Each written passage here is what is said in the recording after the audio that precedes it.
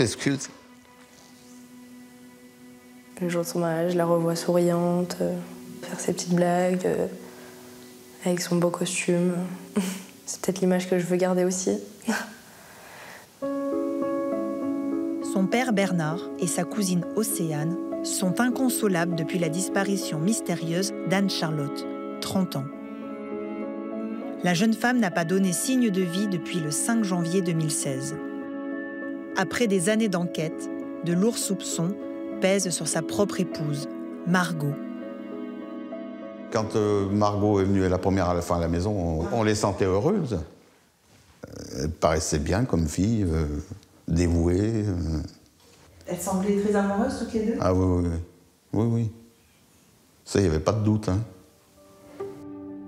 Les destins d'Anne-Charlotte Poncin et de Margot Olivier se croisent en 2013 sur le camp militaire de la Valbonne. Anne-Charlotte y est employée comme artilleuse, Margot comme instructrice. Entre les deux femmes, c'est un coup de foudre. Elles s'installent ensemble un an plus tard, à quelques kilomètres de là. Patricia, coiffeuse à la retraite, a côtoyé le couple pendant presque deux ans. Elle leur louait son appartement. Là, il y, avait le salon de coiffure, enfin, qui existe toujours, mais qui a changé de nom. Et l'appartement, il est au-dessus. Et ça leur a plu tout de suite. Anne-Charlotte, euh, on avait l'impression que c'est elle qui commandait tout. Mais elle était très sympathique. Elle causait plus, elle était beaucoup plus avenante, que Margot était très discrète. Margot et Anne-Charlotte quittent l'armée et se marient le 2 mai 2015. Une histoire d'amour sans nuages, pendant huit mois. Jusqu'au 5 janvier 2016. Ce jour-là, Anne-Charlotte disparaît. Margot déclare le soir même à la gendarmerie que son épouse aurait quitté leur domicile vers 10 heures sans son téléphone portable. Anne-Charlotte devait se rendre dans des agences d'intérim en quête d'un nouvel emploi. Elle a donné l'alerte à 18h, je crois, à la gendarmerie. Comme quoi Charlotte n'était pas rentrée, que- qu'elle avait disparu. Donc nous, on est montés immédiatement. hein. On a commencé le lendemain à la chercher. Mais bon, Vous l'avez cherchée où dans les Ah, alentours? de partout, oui. Dans les bois. euh. Pas de témoins, pas de caméras de vidéosurveillance, pas de mouvement bancaire sur le compte d'Anne-Charlotte. Sa voiture est retrouvée garée dans cette rue, à quelques centaines de mètres de son domicile. Les jours passent, l'ancienne militaire semble s'être volatilisée. Appel à témoins sur les réseaux sociaux, distribution de tracts sur le marché, dans un premier temps, Margot recherche désespérément sa compagne. Toujours pas de nouvelles, il n'y a toujours pas de piste. Donc euh, merci beaucoup. Merci. Il faut continuer à en parler parce que c'est c'est ça qui c'est ça qui va nous aider quoi. Elle médiatise l'affaire semble éplorée quand elle accorde une interview à une télévision régionale. Quand elle est partie, elle avait son, sourire euh, rassurant. Elle m'a dit qu'elle m'aimait. Comme... Elle m'a dit euh, qu'elle revenait. Et, euh, puis, voilà, quoi, comme, comme un jour où, où elle va chercher du pain ou, un jour où elle va travailler. c'était un jour normal. Personne ne doute alors de la sincérité de la jeune femme, notamment Sandra Fargier, à l'époque chef d'agence d'Ambérieux, du quotidien régional Le Progrès. J'ai devant moi euh, une jeune femme euh, triste déjà, fatiguée, ses traits sont tirés, on la sent très discrète et pourtant elle est vraiment déterminée à, trouver euh, un élément qui puisse l'aider à retrouver Anne-Charlotte. Elle m'explique voilà, qu'elles viennent de se marier il n'y a pas si longtemps que ça. Elles étaient une- un des premiers couples de femmes à se marier dans l'un. Elles en étaient très heureuses. On a évoqué de possibles disputes, ou, mais rien, il n'y avait vraiment rien de tout cela. Les proches du couple ne soupçonnent pas Margot non plus. Les parents d'Anne-Charlotte l'accueillent chez eux. Et nous, au bout d'un mois, à Margot, on lui a dit Bon, écoute, c'est pas la peine que tu restes toute seule. Surtout qu'elle travaillait pas, elle n'avait pas de revenus, elle n'avait rien du tout. hein. Donc on l'a déménagée, on l'a accueillie chez nous, on l'a hébergée, nourrie. euh, j'ai payé ses factures, j'en voulais à ma fille de l'avoir abandonnée, donc j'ai fait ce que je devais faire. Au fur et à mesure des mois, on s'est aperçu qu'elle prenait la place de notre fille. Elle prenait les mêmes manières que. Elle faisait ce que ma fille faisait quand elle était à la maison. À table, elle se mettait à la place où ma fille mangeait. Euh, elle avait les, manies de ma, que ma fille, elle tapait souvent sous la tête à, sa maman. Elle, commençait à faire pareil. Euh, vous voyez, plein, plein, de petits trucs qui, qui font que. Au fil des mois, la cohabitation avec Margot devient plus tendue. Un détail en particulier choque les parents. Seulement trois mois après la disparition d'Anne-Charlotte, ils s'aperçoivent que leur belle-fille fréquente des sites de rencontres. Euh, elle disait qu'elle faisait des sites de rencontres parce que Charlotte euh, y allait beaucoup sur des sites de rencontres. Donc elle pensait pouvoir recommuniquer avec elle sur un site de rencontre. C'est un peu, euh, c'est un peu gros comme, mais bon. Au début, on n'a pas, on a dit bah oui peut-être. Et je me suis aperçu que quand elle disait qu'elle montait à Amberieu faire les recherches, elle descendait dans le midi voir une de ses copines, enfin sa nouvelle copine. C'est là que nous, euh, j'ai dit à ma femme, bon écoute, il faut qu'on arrête de l'héberger, il faut qu'elle prenne son appartement, il faut qu'elle... Euh, bon, faut qu'elle voilà, faut qu'elle s'en aille. Margot coupe alors les ponts. Et c'est sur les réseaux sociaux que les parents d'Anne-Charlotte découvrent sa nouvelle vie. Très vite, la jeune femme a retrouvé le sourire auprès d'une nouvelle compagne. Les années passent l'enquête piétine jusqu'à ce que le dossier soit confié en 2020 à la section de recherche de Lyon. Les gendarmes relancent les investigations et décortiquent toute la vie d'Anne-Charlotte. Ils s'aperçoivent que l'ancienne militaire jouait au poker chaque jeudi dans ce bar d'Amberieux, l'Arlequin. La piste de la dette de jeu est alors envisagée. Jérôme, le gérant, est auditionné.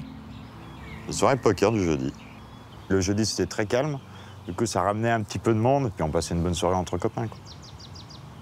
les gendarmes sont venus au restaurant, d'ailleurs, euh, nous poser deux, trois questions. à qui elle traînait, avec qui, savoir si elle avait des soucis, si des problèmes de couple aussi, le poker. Le poker, euh, c'est quoi ce poker? Bah, Le poker, c'est l'amusement entre copains. Pas d'argent, pas de. Mais au pire, c'est une tournée une tournée à payer, quoi. Mais il n'y a rien de. Donc c'est pas ça.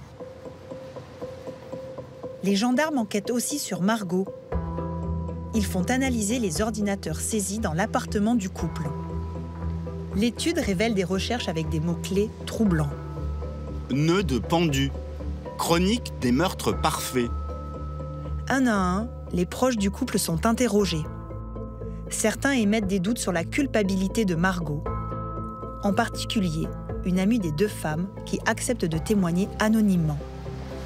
Le lendemain de sa disparition, on l'avait vue à l'Arlequin, elle est venue euh, normale, euh, sans peine, sans rien. Euh, enfin, moi j'ai trouvé. Hein. Enfin, tous ceux du poker ont dit la même chose, qu'elle n'avait pas un comportement de, triste.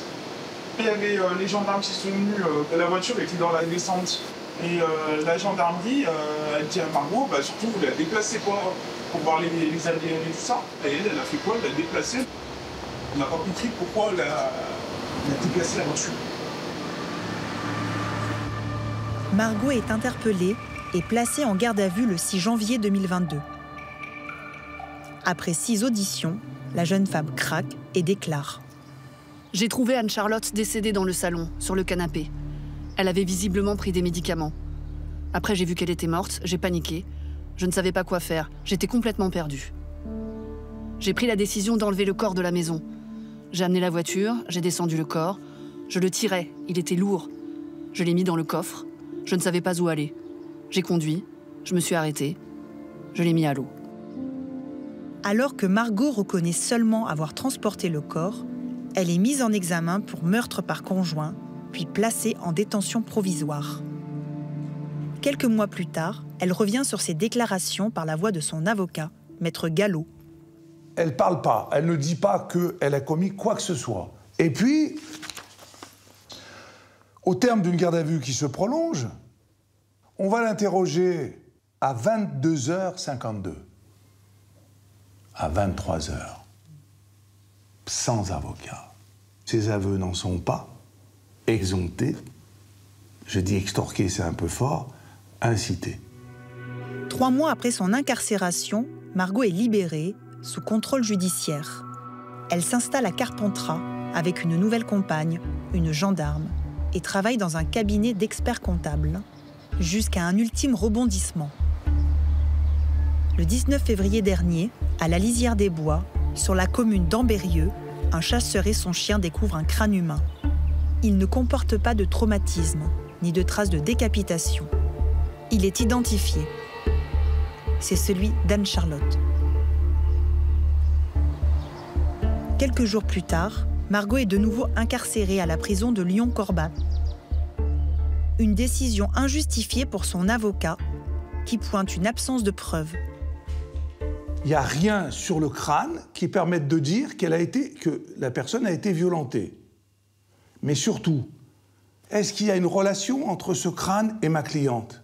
Est-ce qu'il y a des éléments qui permettent de faire le lien entre les deux? Non. La chambre de l'instruction écrit qu'on ne sait même pas s'il y a eu un crime. Et on met ma cliente en prison alors qu'on ne sait même pas si c'est un crime. Jamais vu ça dans les annales judiciaires. S'il n'y a pas de crime, il n'y a pas de criminel. C'est le béaba. S'il n'y a pas de criminel, qu'est-ce qu'elle fait en prison? Selon l'avocat, Anne-Charlotte aurait pu avoir mis fin à ses jours. Charlotte, depuis qu'elle est très jeune, veut devenir un homme. Ça la travaille depuis tout le temps. Et elle en parle avec Margot. Et Margot lui dit négatif. Moi, si c'est ça, ça m'intéresse pas. Ça, ça peut susciter un désarroi majeur. Une personne qui tout d'un coup, depuis longtemps, mais là, fait la révélation, je veux devenir autre chose, je me sens pas bien dans ma peau. Et ça, on, on minore cet état dans lequel elle se trouve à ce moment-là. L'avocat des parents d'Anne-Charlotte, lui, ne croit pas au suicide. Il est persuadé que Margot est impliquée, même si aucun mobile n'est à ce jour établi. On peut penser que ce soit un crime conjugal. Est-ce que c'est un mobile sexuel, mésentente familiale, conjugale? Je le pense. Ça ne serait pas la première fois qu'une euh, mésentente euh, peut arriver peut conduire, on va dire, un, membre du couple à supprimer l'autre. accidentellement d'ailleurs ou euh, volontairement, on n'en sait rien. J'arrive pas à comprendre justement pour ce qui s'est passé. Il avait pas, euh, apparemment, il n'y avait aucune raison. Margot, je ne l'ai jamais soupçonné de quelque chose, parce que j'ai plutôt J'en ai plutôt voulu à ma fille de l'avoir abandonnée, parce disant qu'elle avait dit qu'elle était partie, soi-disant, mais bon.